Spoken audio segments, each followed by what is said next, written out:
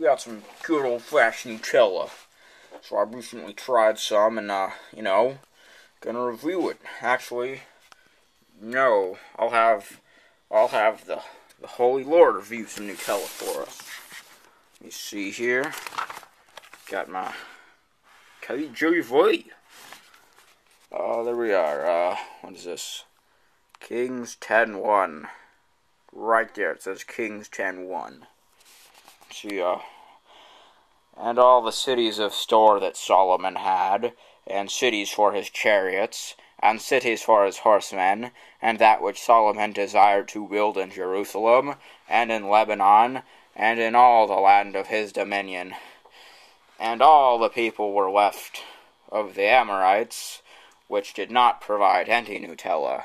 And so the Lord said, But every man must have Nutella. It is the divine food. And so the Lord created Nutella.